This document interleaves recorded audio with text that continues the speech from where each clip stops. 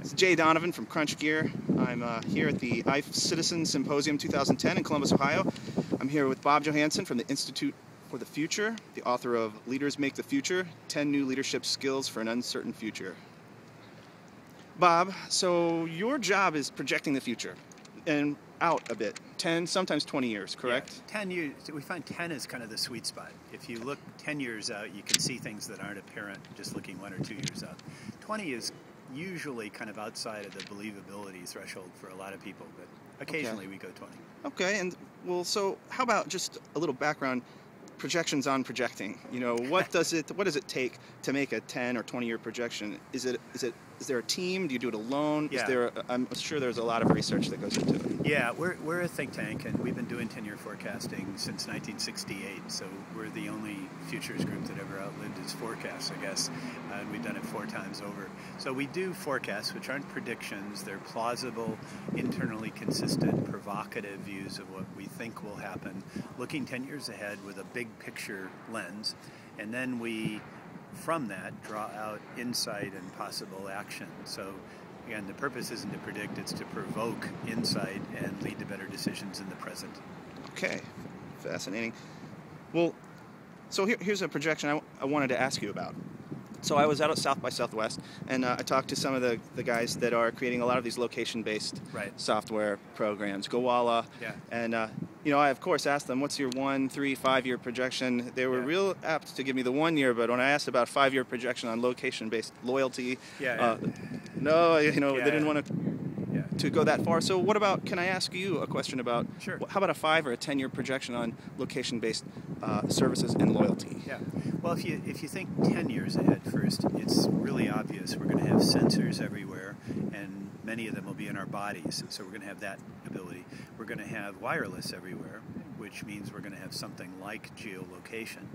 Um, so right now, the parts of the world that are most advanced are places like Helsinki or Seoul or Tokyo. The United States is not particularly more advanced, although the iPhone is maybe the closest step toward that kind of connectivity. But I think um, as you look 10 years ahead, it's pretty obvious that we're going to have a virtual overlay for the physical world, a blended reality, if you will. And that will include sensors, it will include wireless, and the whole concept of branding is going to be integrated with that anytime, anyplace world. Okay. Right. Just a few more questions. You, you say there will be sensors everywhere, and do you think those are going to be crowdsourced? You know, people with their phone themselves become a sensor, uh-huh. or will it be they are physical sensors placed, owned by corporations, or both, or what? How, how's that going to shake basically, out? Basically, sensors will be very small very cheap. So the beginning part will be our own bodies, uh, and if you look at Kevin Kelly's work on the quantified self, he'll be here tomorrow morning. Um, you know, he talks a lot about sensors in our bodies and them revealing things about our own bodies that we didn't even know. So that's unobtrusive sensing, but it could, could be very personal. Then you could have sensors that are physically based. You could also think of crowdsourced sensors where an individual is a sensor, but and linking through a social network. So it's there's many different definitions of sensors, but essentially it means we're going to have sensors everywhere, and many of them are going to be very cheap, and some of them are going to be implanted. Um, and it's going to be more data than we could hope to analyze. So we're going to have all kinds of creative approaches to making sense of all that sensor data. Okay. and that's the dilemma. That's the tricky part.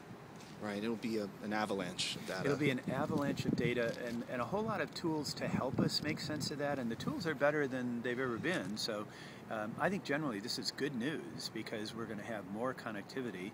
And the more connectivity we have, the more flexibility we have, the more powerful we are, the safer we are. But also, unfortunately, the more dangerous it is because these sensor-based networks can be distorted or manipulated.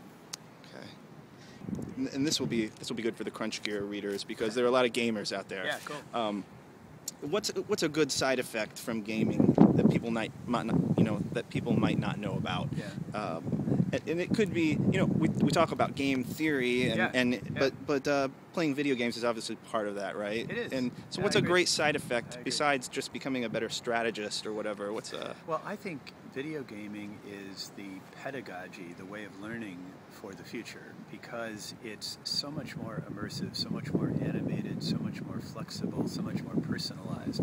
So, gaming teaches dilemma flipping, the leadership skill I call dilemma flipping, which is engaging in a dilemma, a problem that can't be solved, and creating an opportunity. And, and in the best games, your challenge is to create an epic win. Um, so it's teaching people how to flip dilemmas and create an epic win. Um, it's also teaching uh, social networking skills. You know, most of today's games are social networks. So my colleague Jane McGonigal, who's a game designer herself, talks about the fact that gaming embodies urgent optimism at its best. And, and that principle, I think we can take from the gaming world and apply it to our real lives. And that's where the real value of gaming starts to become apparent.